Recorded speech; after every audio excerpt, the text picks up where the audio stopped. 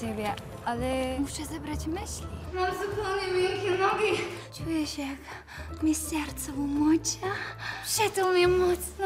Dziewczyny z Lwowa. Nowy odcinek w sobotę o 20.30 w Jedynce.